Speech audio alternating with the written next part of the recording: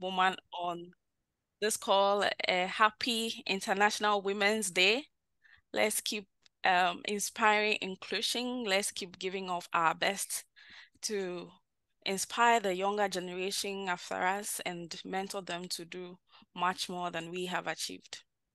So today we have very key people on this call to discuss this very important um, topic on International Women's Day. And today we are going to be talking about inspire inclusion, investing in women to accelerate progress. Um, we all know we are in an era where the quest for gender equality and diversity has taken center stage globally. And then it is imperative to invest in women's empowerment and inclusion across all sectors. Um, so today's panel will discuss, as I mentioned earlier, inspiring inclusion, investing in women to accelerate progress. And we aim to dive into this uh, motivated, how its benefits and the strategies that would foster to have an inclusive environment that will not only empower women, but also accelerate collective progress across board. So today, our panel would explore the barriers that inhibit women's participation and leadership in various fields, from politics to business, and then especially in STEM. After all, we are SP, so the discussion would also provide insights into effective strategies for dismantling barriers and creating opportunities that encourage and support women's contribution to economic, social, and environmental development. Our panelists are from different diverse backgrounds. We have people from academia, from within the industry, within the industry and, and advocacy. advocacy. We also have, um, okay, I can hear myself. Okay, that's fine.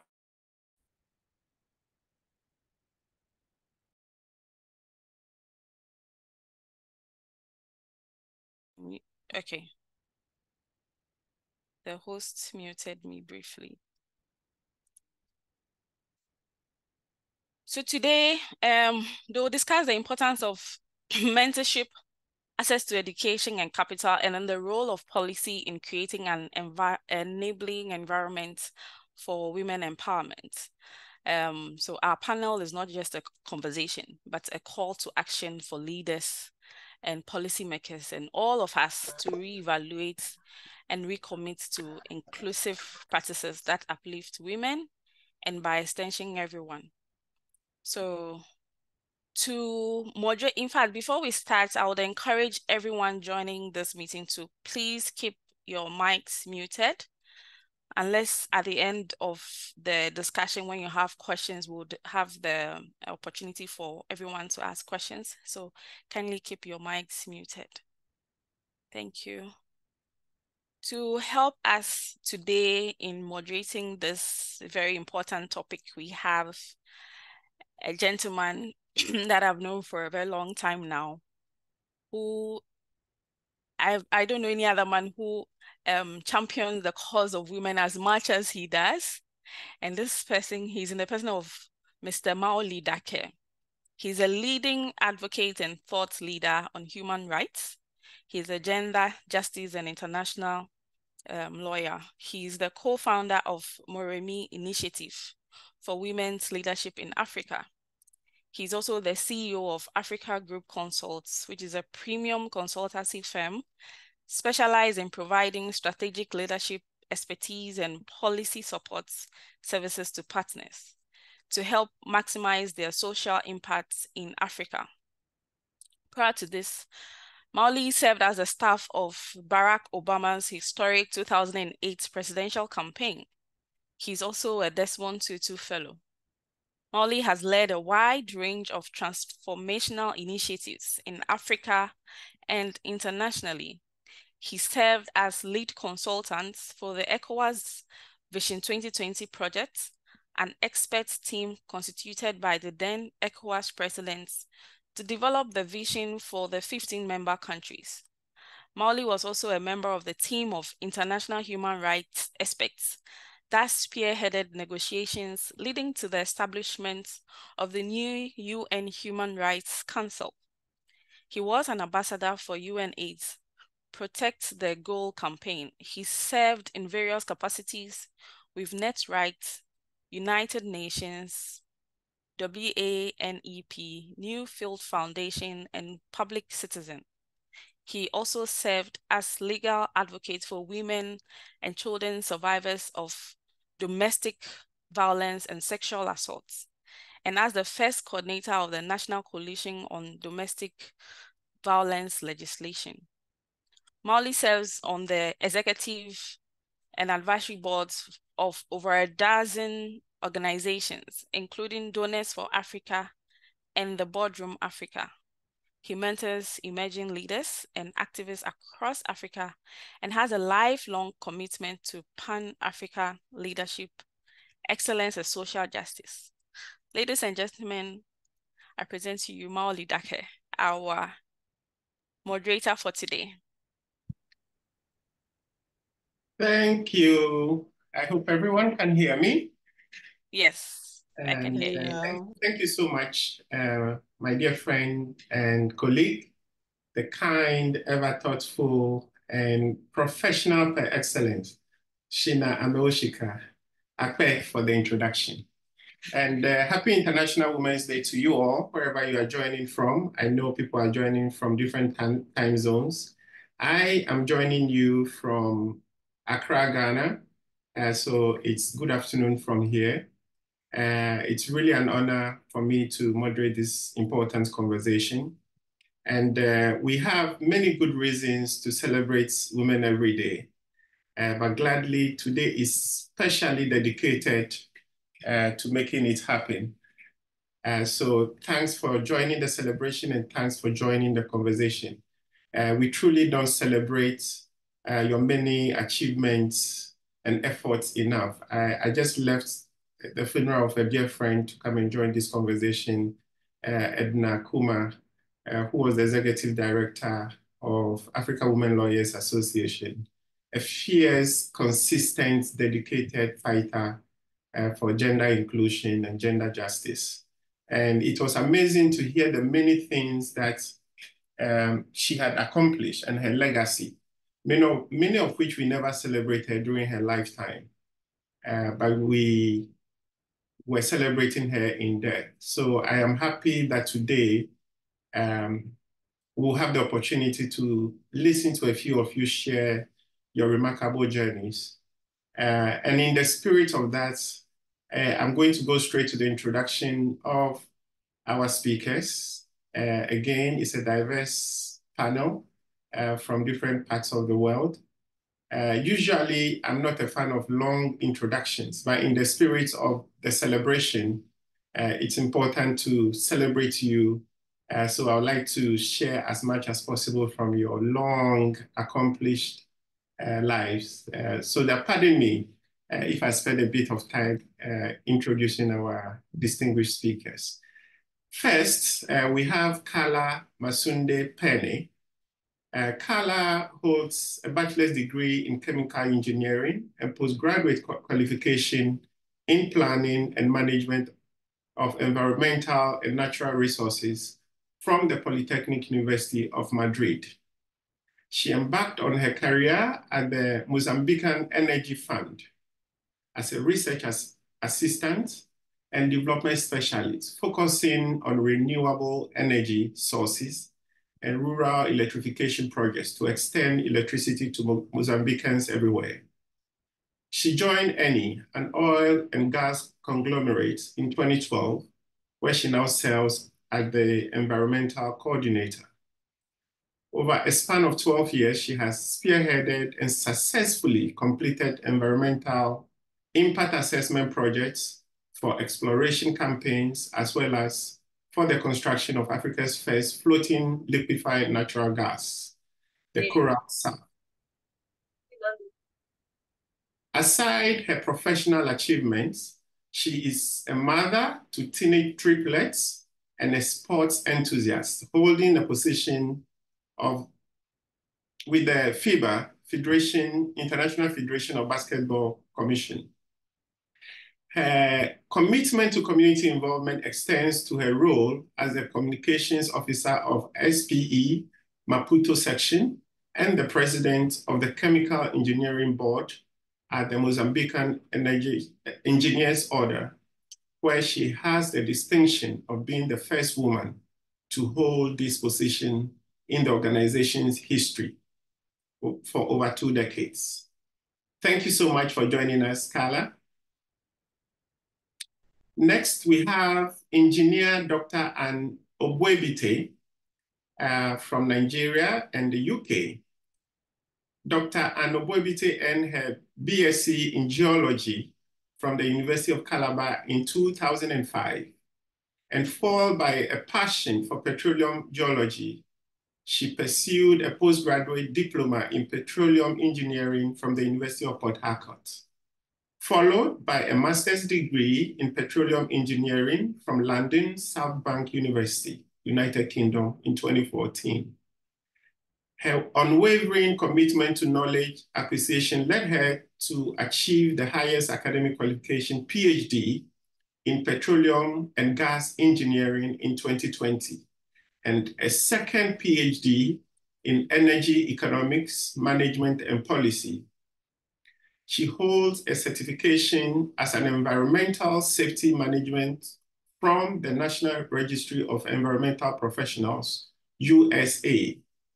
She is a current registered engineer and a corporate member of several professional bodies, including the Nigerian Society of Engineers, Society of Petroleum Engineers, Warri, and London sections. By the way, I'm a Wafarian.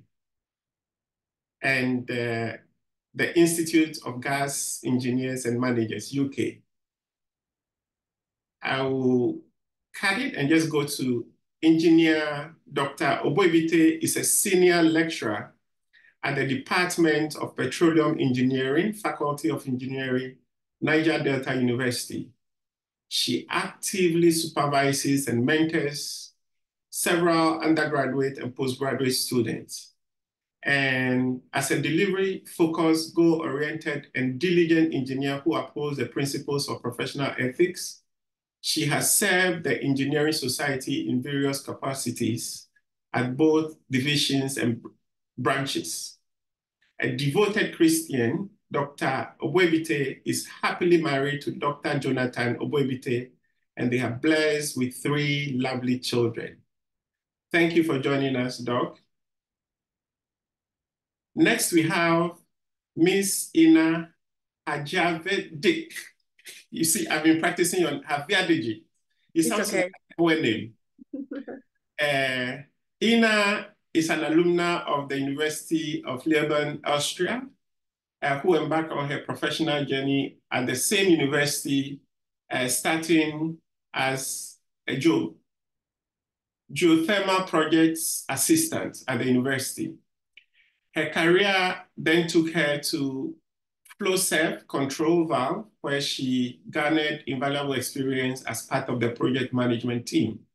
In 2017, Ina took on the role of reservoir engineer, furthering her career in energy engineering in Vienna, Austria.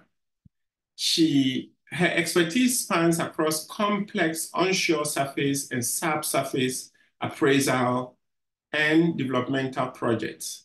A staunch advocate for diversity and inclusion, Ina is the founder of the D&I Vienna Basin section. Since May 2020, she has been a leading, she has been leading the SPE Vienna Basin section as its chair, actively initiating and facilitating knowledge exchange and workshop that bridge and energy engineers and scientists worldwide. In November 2022, Ina took on the new challenge as the business development engineer at STEMSTEX Technologies, where she plays a pivotal role in supporting clients across the globe. Ina continues to make significant contribution to the field in many ways, driven by her passion to make, make a visible change. Thank you so much for joining us, Ina. And not, now, last but not the least, we have Oseni Ronke Rubata, natural gas marketing professional. Ronke Rubabat is an assistant manager, commercial operations in charge of Ghana gas scheduling and contract management at the Ghana National Gas Company. She is currently the deputy chair, diversity and inclusion Society of Petroleum Engineers Ghana section. Her career in oil and gas sector began in 2021 at the West African Gas Pipeline as a commercial and business personnel, where she assisted in developing the markets from foundation volumes of 134 mm to full West African gas pipeline capacity of 474 mm through assessment and negotiation with business opportunities and the use of market. Prior to joining Ghana Gas, she served with the SAGE Integrated Marine Service Limited, Lagos, Nigeria, where she served as the business development manager. She holds a diploma in business studies, a degree from the Central University of Ghana, and a Master of Business Administration with a particular focus on oil and gas management from Coventry University in the UK. Rubabat has had a strong passion for language and she speaks six languages, Yoruba, English, French, Hausa, Twi, and she even went as far as to st study Mandarin in China. Thank you so much for joining us, Oseni. And uh, with that, uh, we'll go straight to the conversation. Uh, the program is designed to be interactive. Uh, so we will try and make time for everyone to contribute, to ask questions, and to, to en enrich the conversation. My first question will go to Ina.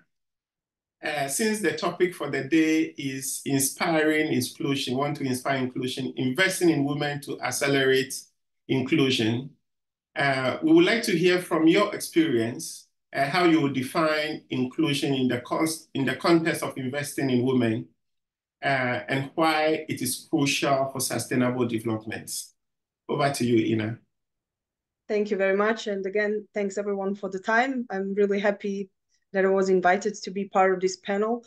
Um, I will I will touch on the three uh, most uh, important, uh, in my opinion, most important parts of the inclusion.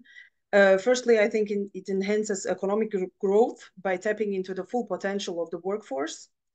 Uh, I think everyone can uh, admit and agree with me that when women are included in the workforce, they bring unique skills, insights, and innovation that contribute to increased productivity and competitiveness. Secondly, um, social development as well is, is quite important by addressing gender disparities, providing equal access to education, healthcare, and economic opportunities empowers women, but not only women, empowers society as well, and leading to improved overall well-being for families and communities. Bridging the gender gap uh, is inclusive practice in, in investing in decision-making processes when women have a seat at the table, uh, diverse perspectives are, are considered, resulting in more comprehensive and effective solutions to global challenges. I think it's quite quite uh, noticeable to to mark here this diversity of thought. I I'm promoting really a lot. Uh, uh, this one it's particularly critical in developing sustainable strategies that address complex and interconnected issues. Sorry, can you hear me? Okay, so we can hear you clearly. Please go ahead. Okay, perfect. Okay, I think someone just uh, just uh, it was unmuted for for a short period. Okay. Uh, I in my... they are trading the new coins, bank and all those coins. They are really it's not from withdraw. Uh, whoever is moderating, can you please help us mute those who uh, interrupt? You can mute them from your end. Thank you. Sorry, Ina, please go ahead. Thank you. No problem. No problem. Um, in my experience, uh, really, um, in uh, growing in, in Balkan society, let's say, until my 18th year, uh, I was confronted with the with the lacking of, of these three aspects.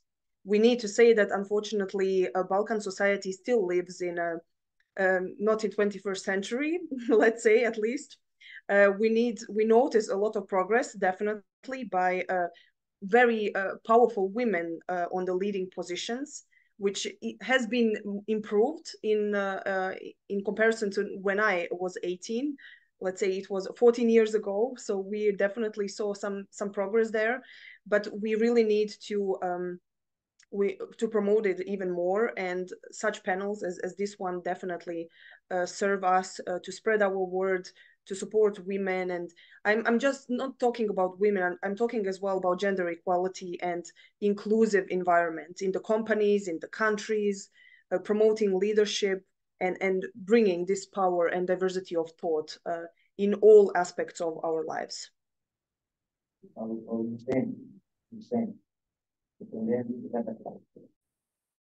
Miss Madam Moderator, please mute those who in, interrupt or disrupt.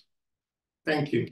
Thank you, Carla. Uh, Ina, uh, that was a, a, broad overview, and I think uh, it gives all of us some understanding and basis to work from uh, when we go into the conversation today. I'll move on to Carla, uh, and we'd like to hear from your really impressive uh, experience, what you see as some of the most significant barriers to women's inclusion in the economy and in leadership positions today? Thank you, Dick. Uh, and uh, I'd like to thank you all for participating in this meeting, interesting topic discussion. And it's an honor to have a so distinguished uh, moderator and distinguished uh, panelists. Okay, so uh, I can share what in my point of view and based on my experience, like they say, um, I consider uh, one of the main uh, um, and most significant barrier, the hostile working environments and the subtle biases that are still in our working environment. I can uh, give an example for us uh, women in industries, for example, we still uh, in the work find working environment which are not prepared to receive women. Just uh, giving one example. Um, also talking about uh, color, women of color, they face uh, even further obstacles in their advancement and as a result, result are even less likely to move into leadership roles. Uh, a key barrier also is uh, being uh, uh, balancing work and family. It is also challenging and is a factor that limits women from seeking or being offered leadership roles as it requires more commitment, more availability, and uh, even more flexibility in terms of working hours, which are not easy to manage, especially if you are married and have children. Um, one uh, other point that I would like to touch is uh, sexual harassment. It is also a challenge and this brings many limitations. Uh, for example, um, the simple thinking that uh, if you are married, uh, your husband thinking that you, the wife can be subject to harassment at workplace, it can uh, give you some limitations in how you uh, make uh, yourself available and available in your workplace and the other activities that you are involved in? Um, well, in my experience in Mozambique, uh, I would like to share that, however, um, in spite all these challenges, uh, we are in a good path. Uh, uh our country is uh, one of the countries well positioned in, in terms of, for example, when women in parliament and in government, we have uh, around more than 40% of women. this morning I was in the Women's Day event in my company here and um, uh, we have 30% uh, of women working and uh, this same is the same percentage of women in managerial position. So recognition by men in, uh, of leadership skills of women is an essential uh, step to reduce these barriers to women inclusion in economy and leadership position today. Thank you.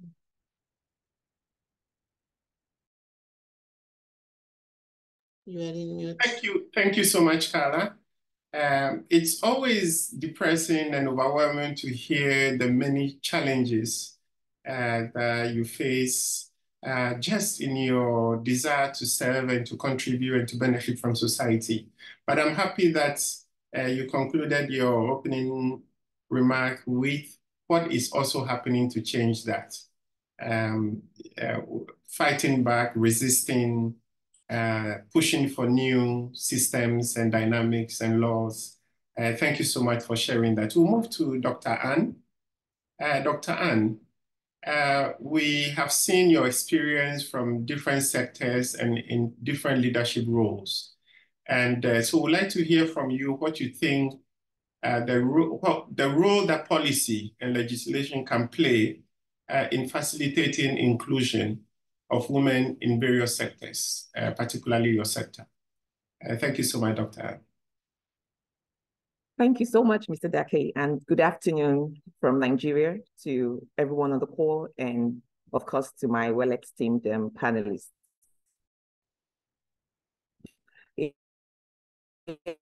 So policy and legislations play crucial roles in facilitating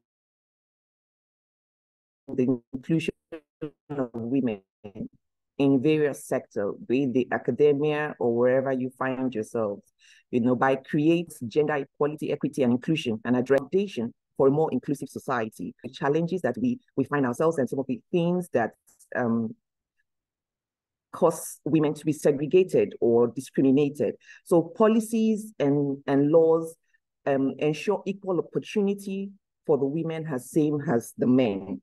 So they ensure equal opportunities in terms of um, equal pay, non-discrimination in the process of um, hiring, uh, during training quarters, even during um, promotions. Yes, they ensure that women are treated equally and they're included in all the quota. They have equal access to education, um, just like the men. Right back home in Nigeria, we have what we call the Labor Act of Nigeria 2004. You know, so this act pre pro prohibits discrimination in employment, you know. So it also promotes work life, one of our greatest challenges as women. But when you have such laid down laws or policies, like we have the Labor Act 2004, it allows for flexible work arrangement. It actually entitles women to at least 12 weeks of maternity leave. It also ensures that nursing mothers are able to bring their children and are able to have one hour you know, to be able to breastfeed their child every day. I'm sure in other various um, countries, you know, African countries, we also have same laws that help us to um, break down all those barriers. We have laws that encourage representation of women, representation of women, like we have the the protocol to the African Charter on, on Human and and People's Rights that was adopted by the African Union in Maputo 2003. We have the National Gender Policy that was adopted here in my country. And that formulated the 35% affirmative action just in line with the United Nations Beijing um, Declaration. So it, it calls for or it demands a 35% inclusion of women, right, in governance, in appointments in public sectors, basically able to bring you know their voices to bear and their opinions to the table. So recently in 2002 the court of law right here in nigeria actually ordered the federal government to enforce this 35% affirmative. So you see that laws and policies are actually crucial they play crucial roles in facilitating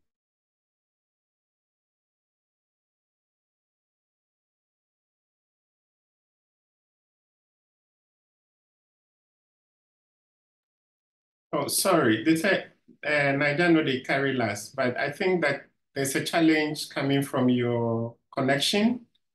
Um, so we will go to the next uh, speaker, and hopefully uh, you'll be able to join us back. Uh, we go to Rababat, and uh, we want to bring it home and hear from you uh, we are having all these big conversations. We are talking about inspiring inclusion. We are talking about investing in women. We are talking about accelerating inclusion.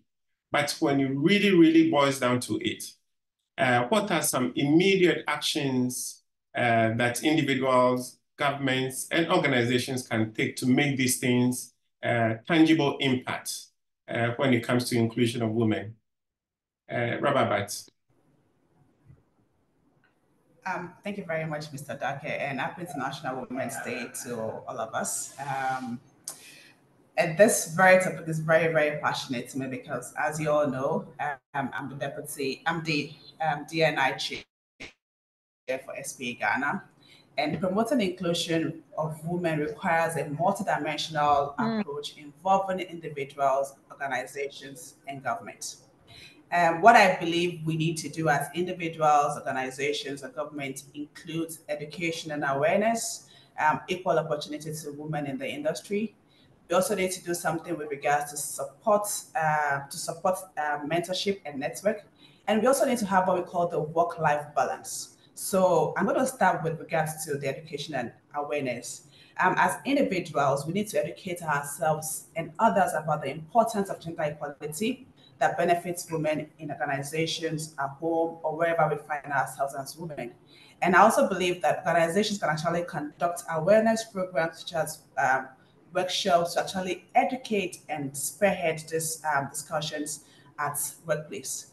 What I believe the government can do is actually to implement policies. So let's say policies actually encourage um, girls with regards to STEM, or probably encourage young girls to go to school and then all those incentives actually brings um, women um, up to par with their male counterparts. That's what I believe needs to be done in regards to what an individual can do, what an organization can do, and what an employer can, I mean, and what a government can do.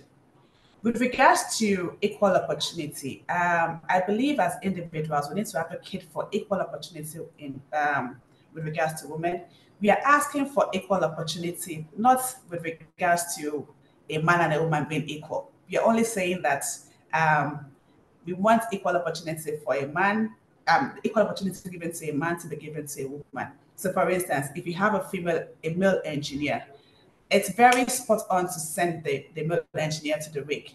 But when it comes to a, a female engineer, we're like, oh, she's a woman, you know, all those innuendos starts coming in. And we are saying that no, as far as a man and a woman can sit in the classroom to study the same engineering, say, be it mechanical, electrical, and, and all that, we want that same equal opportunity to be given to the same woman when it comes to work.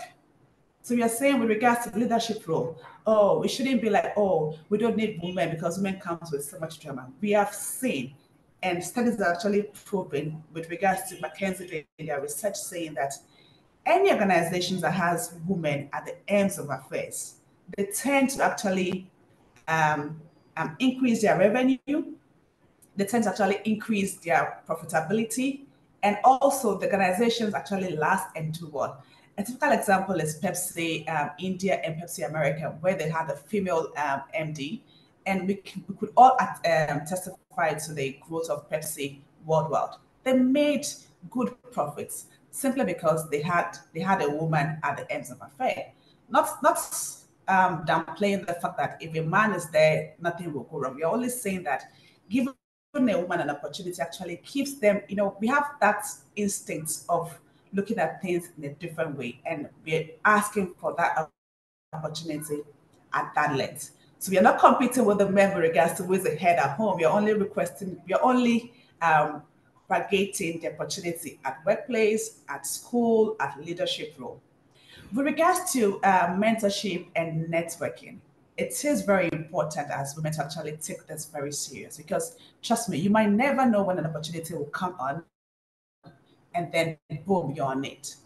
Mentorship, we need to look at people we want to we want to choose as our role models, follow their footsteps, or even seek um, their advice or their guidance on whatever role we want to play. Being a woman is hard enough because I can tell you in 30 days, in a month, we have to go through two weeks of crazy cycle. Maybe one week of you know going through a period, another one week of having uh, mood swings and all that. And during this 30 period, we still have to deal with our male counterparts, our husbands, our kids, colleagues at work. These are really, really difficult. So I'm going to infuse this called work-life balance. As women, we need to actually understand that we need to balance our work and our lifestyle.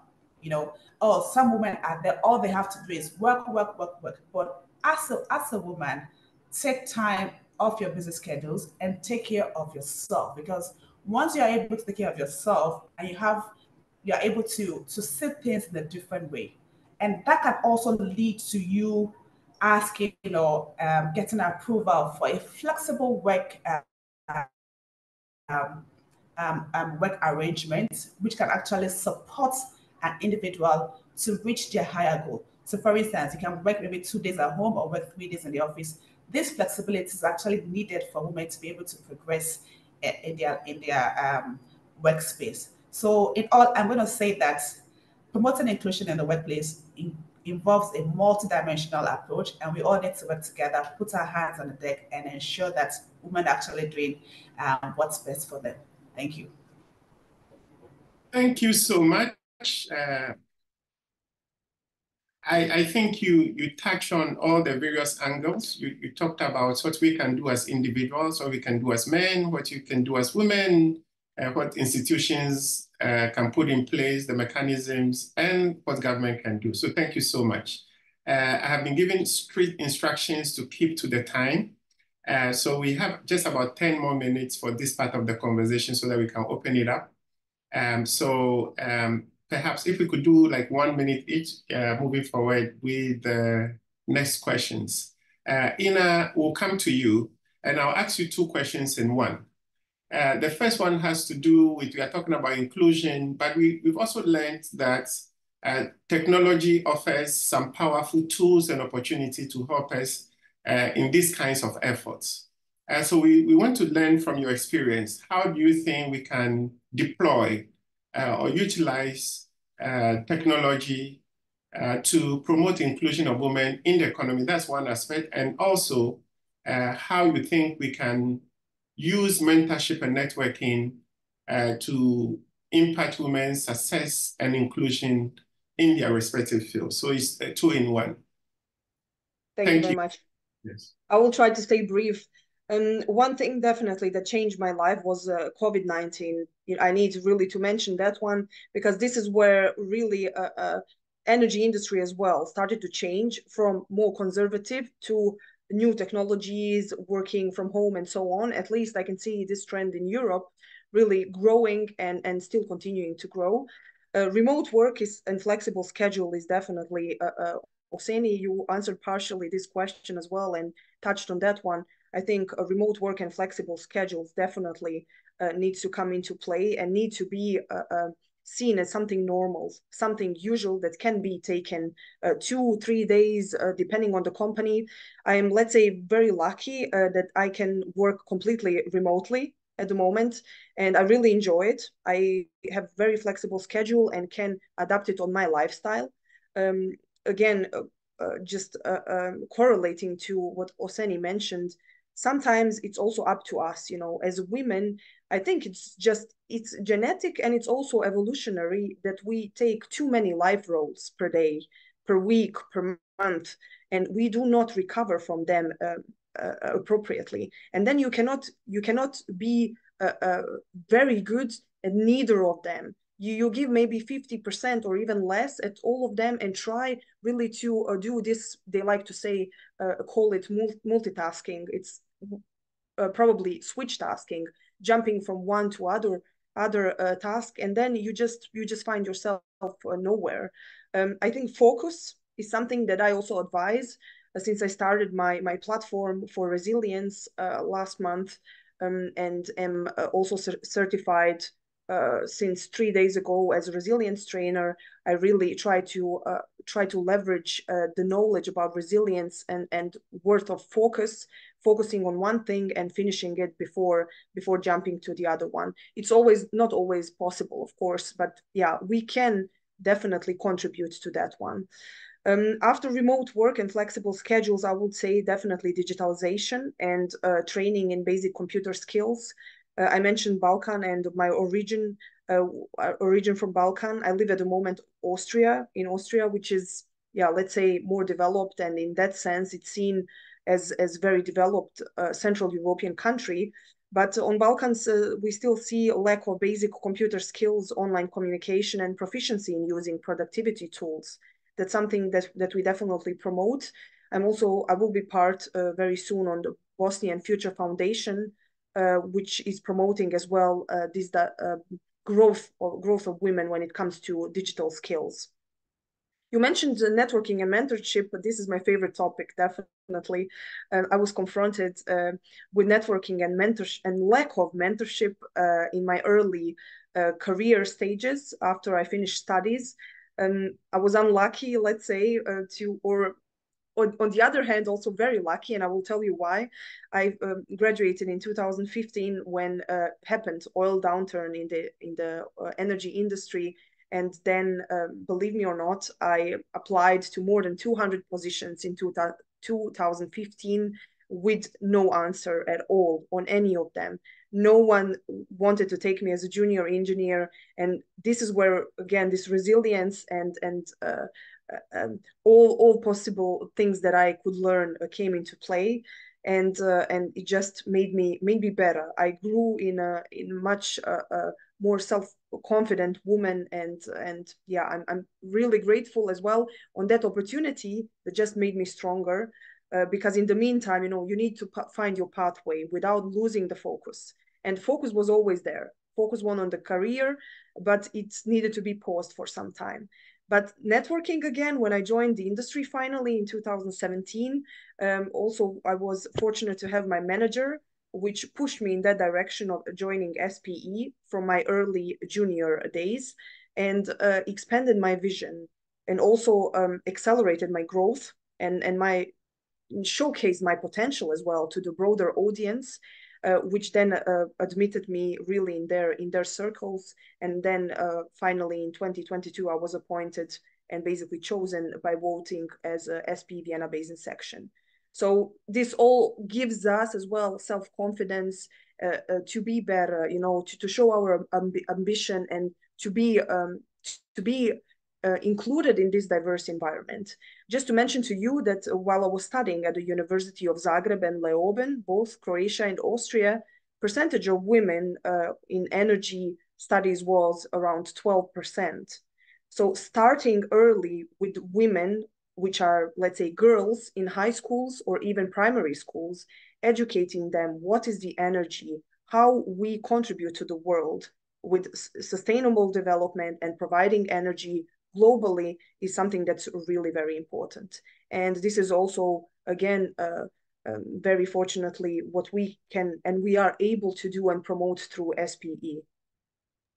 Thank you. Thank you so much, Ina. Uh, when you got to the mentoring and networking session, I could see and feel the passion. Um, and truly, that must be coming from a deep place. And, and I share in your passion as well. Um, the organization I co-founded, Moremi, when we started uh, working with young women leaders, before we started, we were trying to understand uh, what are the key challenges that women face in leadership. And we spoke to some of the most outstanding women leaders from across the continent. And every single one of them mentioned the challenge of lack of mentors when they were growing up. Uh, so it's a big part of what we do, and I definitely would love to connect with you. Um, you know, you you will, be a great mentor for many of the young engineers coming up. So we will we'll connect uh, and see how we can uh, take advantage of this passion and help more young women. Thank you so much, Ina. Uh, we go to Dr. Anne, uh, and I'll also throw two questions at you in the interest of time. Uh, the, the first one um, has to do with how, no, before we go to Dr. Anna, uh, if Carla, um, let me see. Dr. Anna, yes, Dr. Anna, are you back? We, we lost you during your presentation. Your connection went off.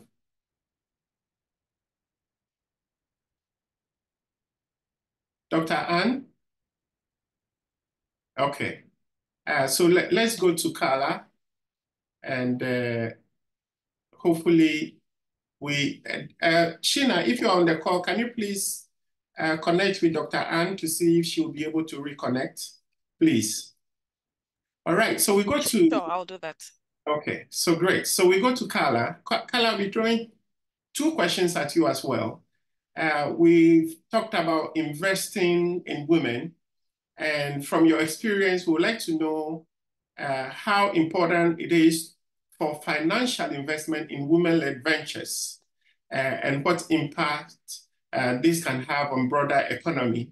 Uh, that's one part. And on the second part, uh, we would like to know how, from your experience, we can more actively engage men uh, as allies and advocates uh, in the fights for gender inclusion and equal opportunities at the workplace. Thank you, Carla. Thank you. Um, yes, this is a very key topic uh, and important as well.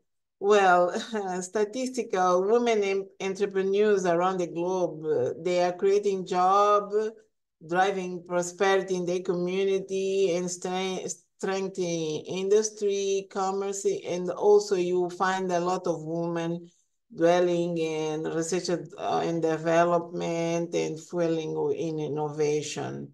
Uh, Women-led business play an essential role in creating jobs and raising the standards of living uh, and boosting inclusive uh, growth. So um, one wise man said one day, you educate one woman, you educate a generation. And this is what we can say about women-led ventures. Um, if you finance uh, women-led ventures, you are uh, leveraging the level of the communities they, where they are inserted. You are contributing to uh, greater education for women and inclusion also because uh, if uh, a woman is uh, able to venture in entrepreneur, uh, entrepreneurship, uh, she will be for sure encouraging other women and inspiring so many other women to um, to invest on themselves, to educate themselves. And this is a key for economy. Uh, and uh, if we do the, uh, that, for sure, we are expanding uh, also gender equality and uh, we will be complying with sustainable development goal number five uh, regarding gender equality. Um, so you also um, how can we encourage men? Well, for, for sure, I would like to say that men are vital in championing gender equality in the workplace and helping to create an environment which everyone has an equal opportunity to succeed and uh, to thrive. Uh, it's necessary to equip men in leadership position with the knowledge and skills to identify and create opportunities for gender equality and social inclusion in their teams, workplace, and community. And once men are engaged with issues surrounding gender equality and uh, bias, uh, uh in the power of the workforce workforce sector. They will better understand the role they can play to create change.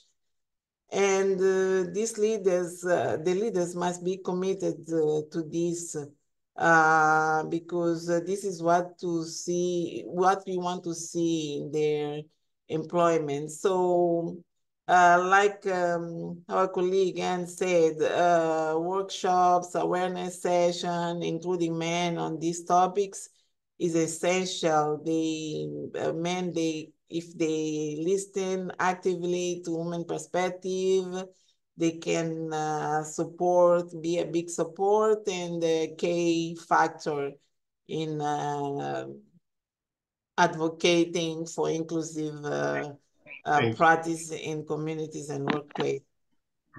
Yeah. Thank you so much, Carla.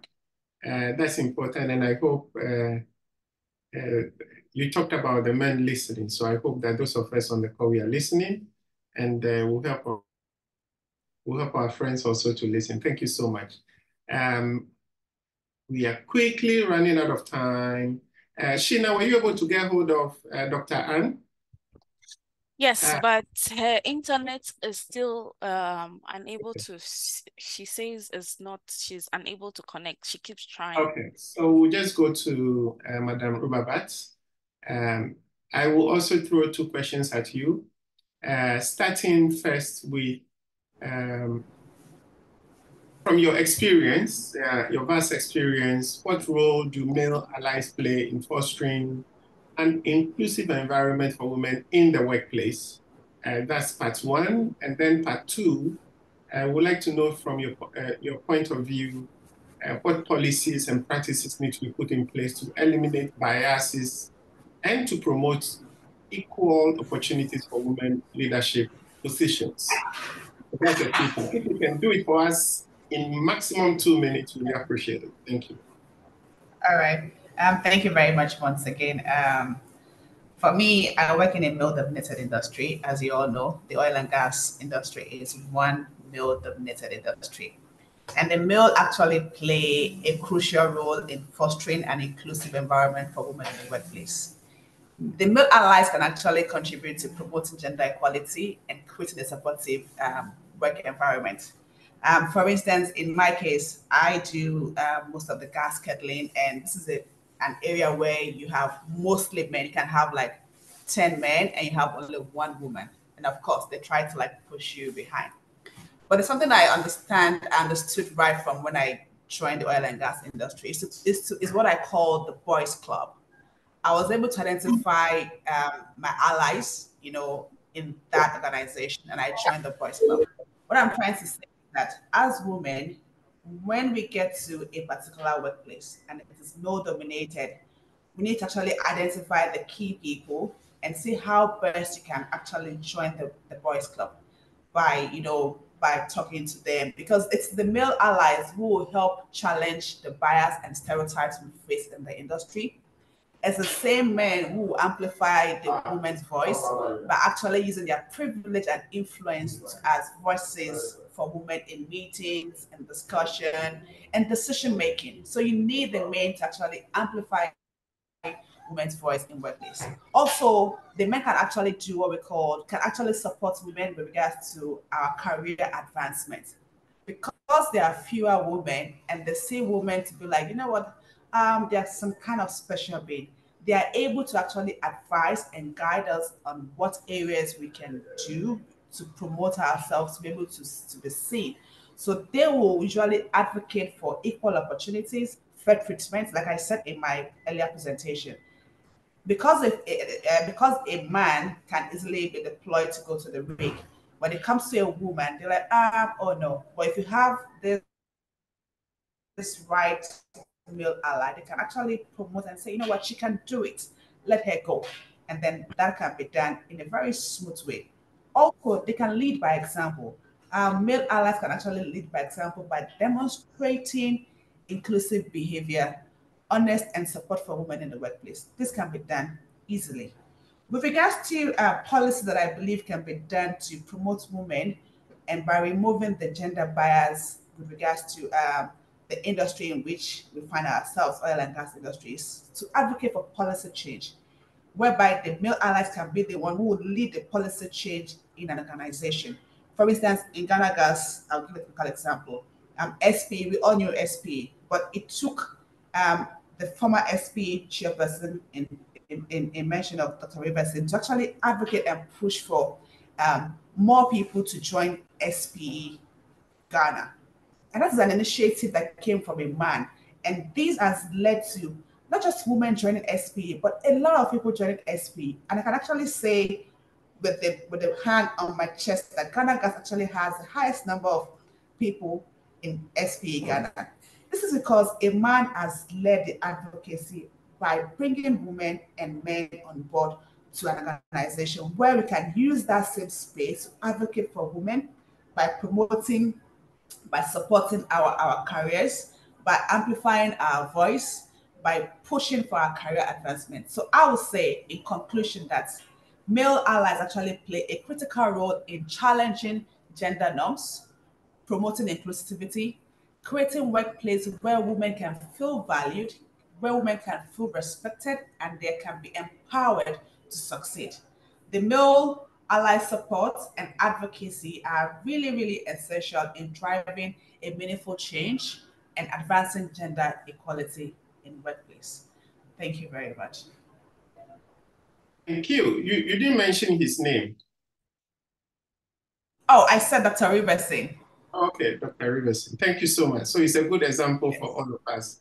And thank you so much for sharing those exam practical examples uh, that we can all learn from.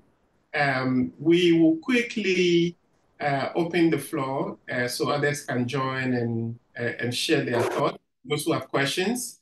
And then we'll come back to you for 30 seconds each. I would like to know from each of the panelists um, for 30 seconds, what is the one thing that you recommend that's uh, one big thing that we can all do, uh, something practical that we can and must all do uh, take away from this conversation and do to help improve, inspire uh, inclusion and to invest in women. So we'll come back to that at the later day. So uh, moderator, uh, if you can please open it up so those who wish to contribute or ask questions can do so now. Thank you. Please unmute yourself and ask your question or raise your hand and uh, the moderator will mute you. Okay, maybe I will start okay. with my questions. Yeah, I have a question, and any anyone at all can can answer, including you, Mawuli, and any any any of the panelists. So there's this thing that some organizations would do where um they say, okay, we there's a the the need to increase women on boards or in leadership positions. So they would um, add a woman or two here and there.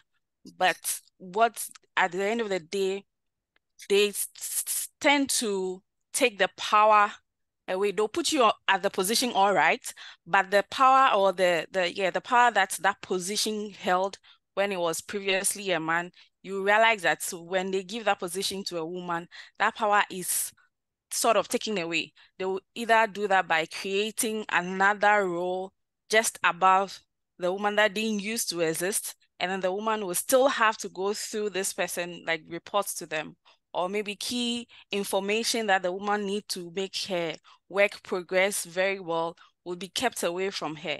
In situations like this what are the women in, who find themselves in such situations what are they supposed to do? Because i have people who have gone through this and it's been very frustrating.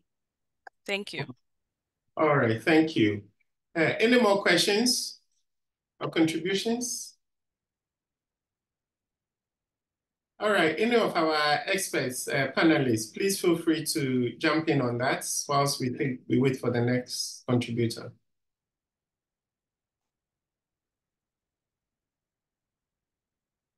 Any of the panelists who want to, uh, okay, in the meantime, I can say that, uh, Sheena, there's something we call uh, systems thinking, uh, which is something we apply uh, when we are addressing solutions. Uh, okay, you are engineers, so you obviously know systems thinking. And in systems thinking, you try to understand how the system, the dynamics work. And uh, in, in, in the sector of advocating for change or fighting inequality or fighting for inclusion and um, equality, we have learned that as the one of my favorite quotes says, power consists nothing without demand. It never has and it never will. Uh, so there's always um, resistance. Uh, and when they can no longer resist, they try to pretend that they are actually giving you power without giving you power. But really, we know that uh, it's not often the case. Nobody uh, likes to concede power easily. Uh, so it's a continuous fight. So giving, creating that space may be one step, but to actually make it meaningful, uh, we have learned over and over again that it's a whole new ball game. Um, so you just, there's no one solution that you can uh, deploy. Um, you have to continue to build on that. Um, there are instances where uh, you can use the law. Uh, there are systems that allow you to use the law to argue your case, to make sure that you have your full power that comes with the position. There are situations where that is not an option. Uh, there are situations where you can build allies uh, with the other male to help you um, exercise your power.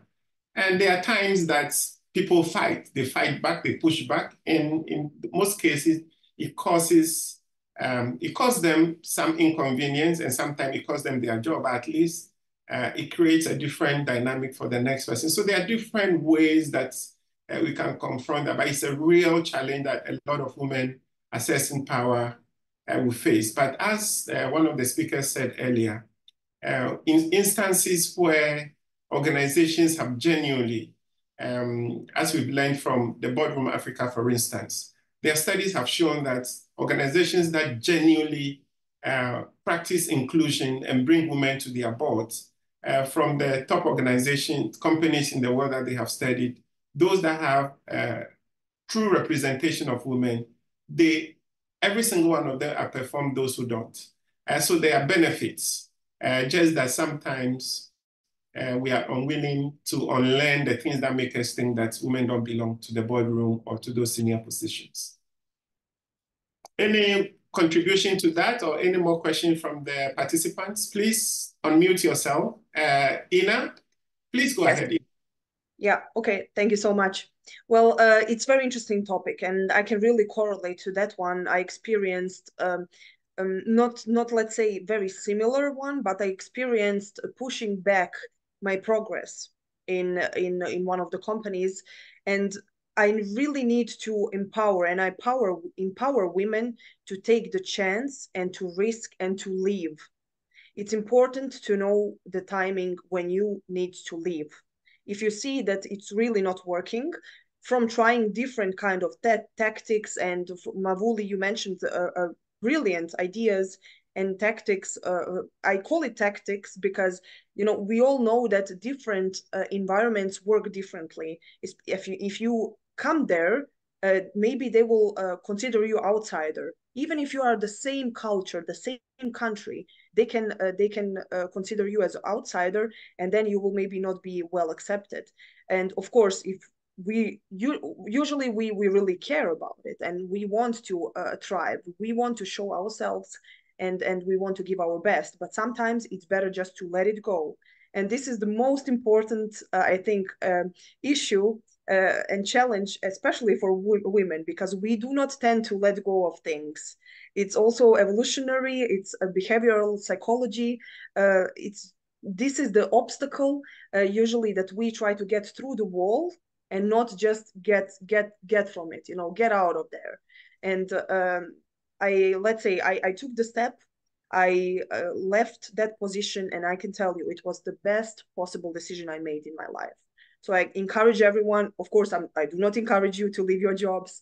I'm just telling you that there is a, a boundary that no one should go over, and uh, respect and and dignity and and uh, also thriving in the environment that we can is something that that we should search. Everyone should search for.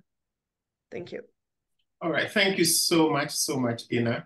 The, Sheena, I see that uh, Dr. Anne is back on. Um, Doc, are you able to uh, jump in at this point?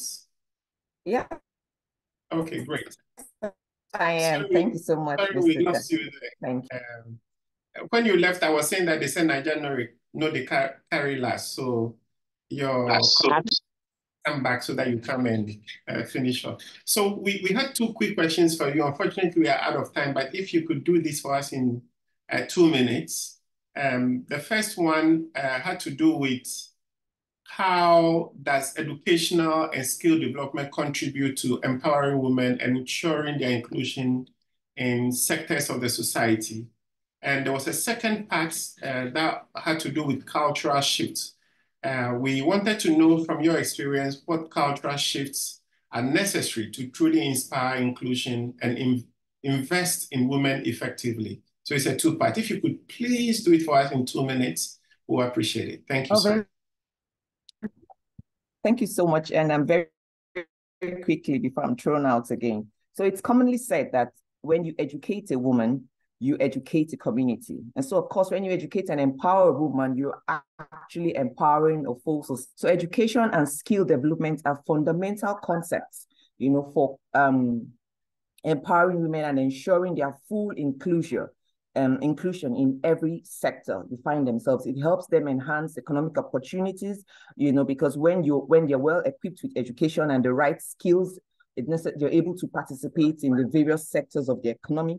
It helps them to break gender stereotypes, like we're doing as female engineers in the oil and gas sector, where of course the men will not give you any chance, and you have to bring your onions and bring all you know to the table. So all that can be done to women to participate, you know, in areas leadership roles and decision making um, roles. Come to think about it politically, Africa has a has a, as a continent about 54 countries, if I'm not right. A female president has ever emerged. That's about 11%. It's nothing to really celebrate, but then, again, it's we've come thus far because these women were well educated and they knew, you know, right up there what they had to deliver. Because getting a spot on the table doesn't come easy. You need to bring, you know, all your education and expertise to the table to be allowed a spot to even speak and your voice to even be heard. So ed education can be the importance of education, quality, well-informed decisions about their health and also about their children's health and of course about about the the their families well.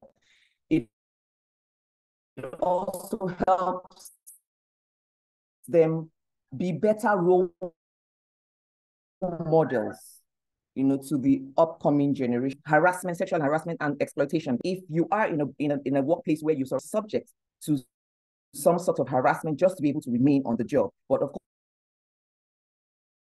course, when you're well educated, you will be well um, informed, and, you you you would have to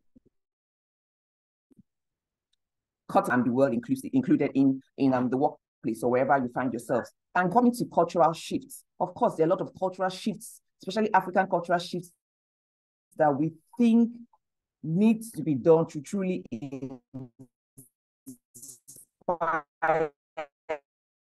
inclusion when it comes to women. First of all, properties, that we know. We're denied the right to own properties. Well, well, we and that and this of course limits economic independence of the women. So some cultures see women as properties that that are supposed to be inherited, right?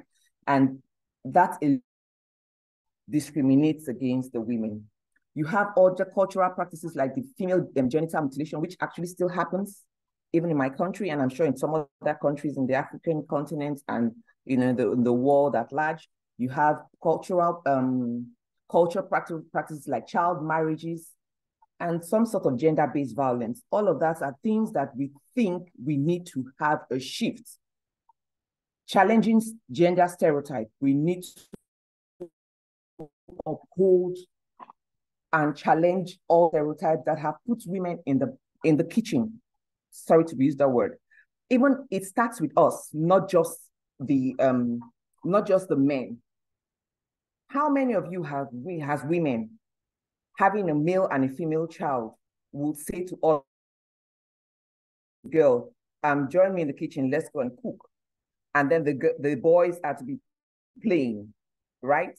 And so all of that has to start from the home, from we as women, and then from to the to the general society. The whole lot of fostering cultural shifts will prioritize gender equality. It will prioritize um, gender inclusion and help us live an equitable and prosperous society. Thank you so much. Thank you so much, um, Dr. Anne, and we are grateful to the Nigeria Internet there for uh, staying put. The, you, when you were talking about uh, the recommendations, you talked about the importance of education. You mentioned how uh, educated the women who have been able to attain presidency on the continent were, and how that education allowed them to attain. And then I thought to myself, I was like, here you are with two PhDs, uh, with two successive presidents who uh, have their only certificates, all of them have their certificates missing.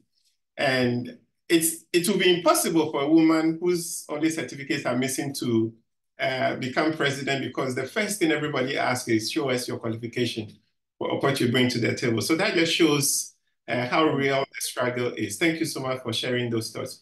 We can take one more or two more questions or contributions, and then we'll come back to the panelists for their 30 seconds. One important recommendation of what we can do moving forward uh, as individuals uh, to bring about inclusion and invest in women.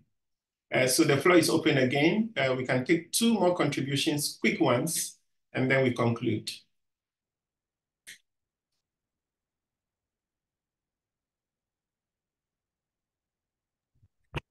Someone has a hands up. Okay, that's Phyllis. Phyllis, go ahead. Um, Good afternoon, and thank you all for this um, opportunity and happy International Women's Day to you all. Um, I have a question, and um, it has to do with, um, it's slightly off topic, but um, there is one thing that we need to address, and that is the abuse of power by women when given the opportunity to, to, to lead or to have a leadership role um, I don't know if we've been following Amer um, American politics, but um, what has been making the news recently is um, one district uh, attorney uh, from Atlanta, Georgia, uh, who's um, currently prosecuting uh, the former president of the United States. She is currently being accused of uh, conflicts of interest. And then there is one mayor of a small town in uh, uh, the state of Illinois who's uh, uh, currently being accused of uh, corruption, that is uh, misappropriation of taxpayers' money for um, personal gains. And when these ladies have been confronted with, um, with, with, with these issues, they have they have so far they have displayed so much um, arrogance, so much arrogance and pomposity and pride.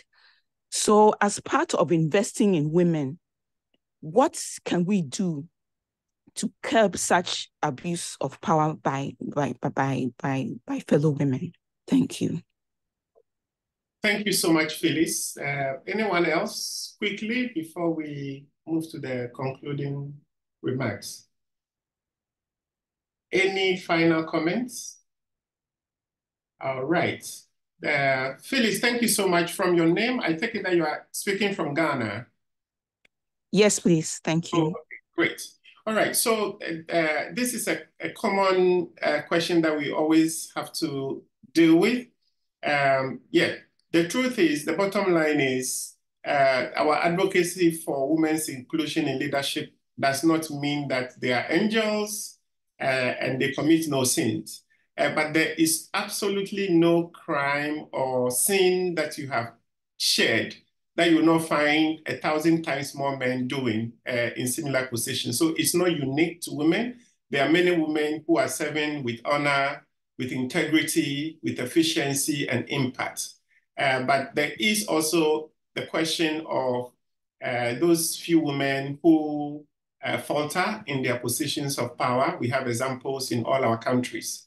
Uh, but the bottom line is uh, for every one of those, you'll find a thousand men uh, who have done worse. we have thousand and one men in powerful positions, in presidential positions, attorney general positions, who have been repeatedly accused of uh, sexual offenses, including the president you mentioned uh, in the United States. Um, so yes, so it's not a unique thing that should discourage, but part of what we do when we invest in women's leadership is also to invest in their moral and ethical leadership development. And so we can't just assume there are some people that have those uh, positive stereotypes that say that, oh, women will not be corrupt, women are angels, women will do everything right. It is not true.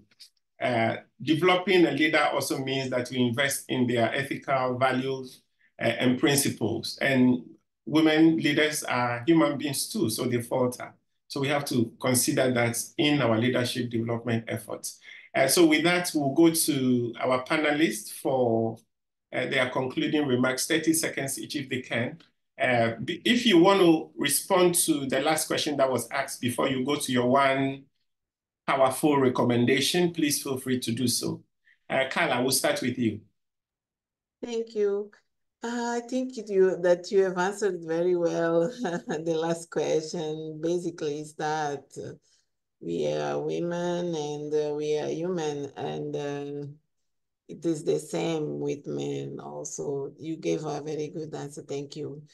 So what uh, one can do, I can tell my experience. My parents financed my education up to university, and they were instrumental in instilling confidence in me in several years. So each one of us uh, can take the commitment to start from his home, from his or her home community by providing opportunity for education Miss Han, she talked extensively about this. Education is the key for, for success, for development, for knowledge. So uh, investing in women and keeping them with resource and the opportunity to promote their social and economic growth, fulfillment, and empowerment is what uh, I would recommend and is what uh, I will do and I'm doing on, a, on my daily basis.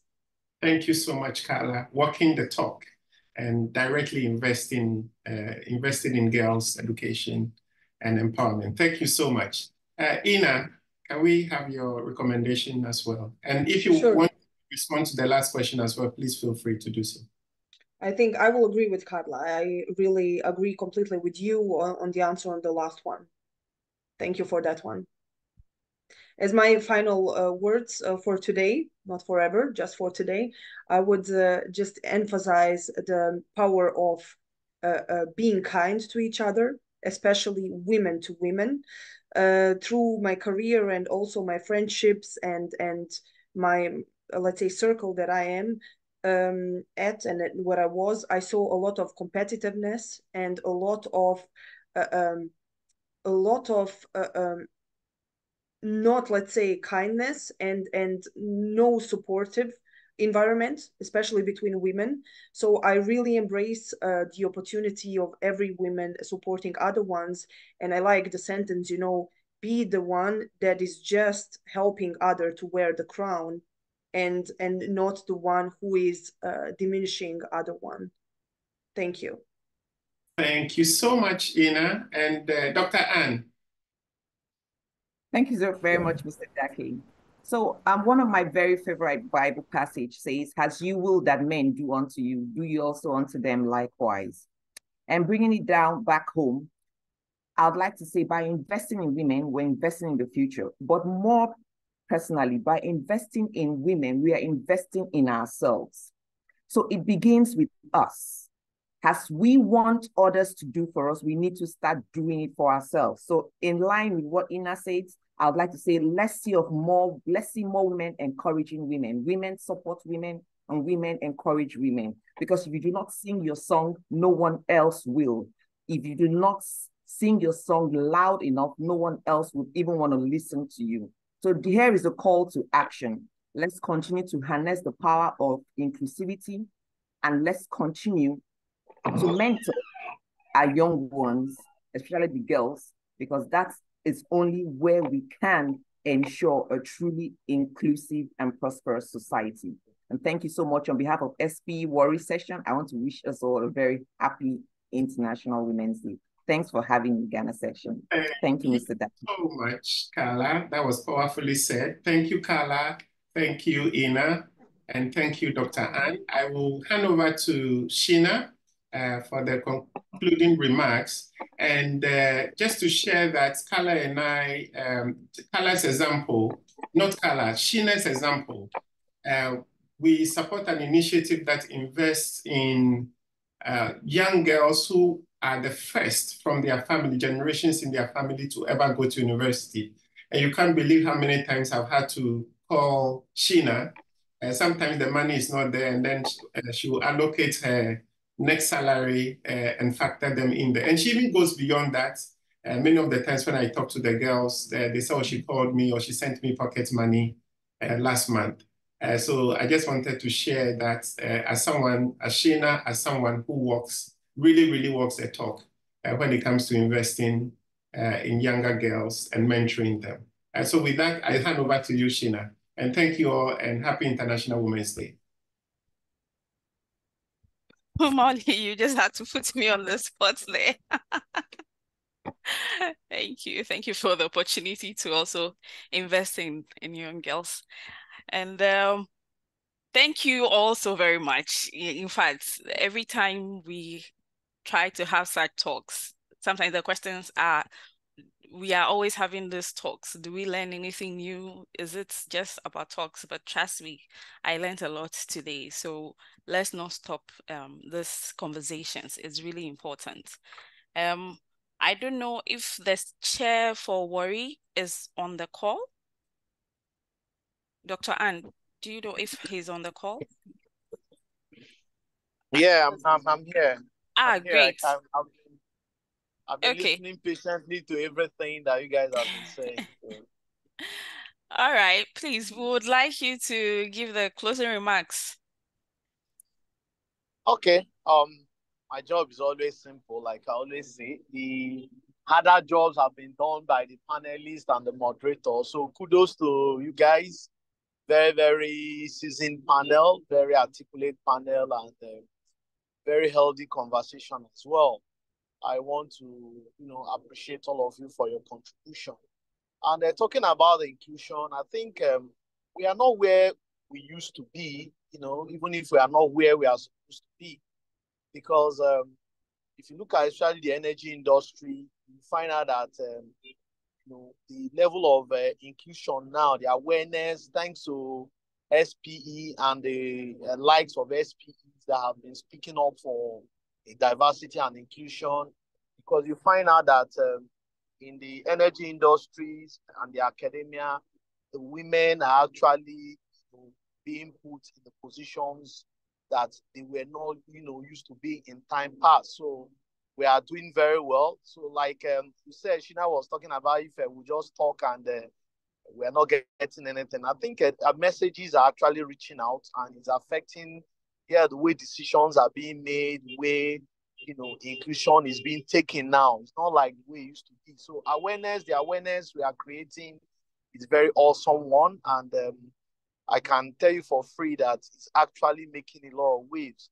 So I, again, I want to say thank you to all the sections, all the panelists from different African sections. In Africa, like I said earlier, we are not where we are supposed to be in terms of inclusion, but we are doing better. But the area I wanted to actually hinge on is what most of the panelists used in rounding up. You know, in the area of uh, politics, in the area of uh, governance, yeah, the women have not really been, uh, you know, the inclusion have not really favored them the way it has favored them, like in the industry, especially like the energy industry. But again, I liked what many of the panelists concluded with by saying that women need to support women. I think that's where the problem actually is. Because if you see a woman coming out now for governor, I can tell you for free that many of the women will not vote for that person. I'm talking, I'm speaking about for like Nigeria, for instance. They will campaign against her, they will not support her. And uh, you know, most times we use our balance to say, ah, waiting woman do woman. You know, so what is so women need to support themselves more. They need to do it more. Yeah, because if you check about inclusion now, you find that men support women more than women are supporting women. So we need to have that that change of uh, mindset, change of paradigm, you know, from women not wanting to support themselves. Because if you don't speak for yourself, nobody can actually speak for you the way you will speak for yourself. So I think on that note, um, a lot have been said. I want to wish each and every one of us, especially the ladies, the very, very special International Women's Day for 2024. Thank you very much. God bless you. Thank you very much, Doc. And it would interest you to know that one of the major political parties in Ghana yesterday just announced um, the running mates for the presidential candidates, and is a woman. She this is the second yeah, time for, that she, she's going to vote for her, not just uh, yes.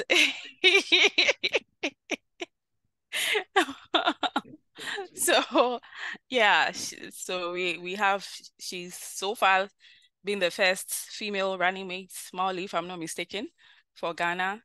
So yeah, for the for the for the major parties. Major yes. parties, okay. Yeah.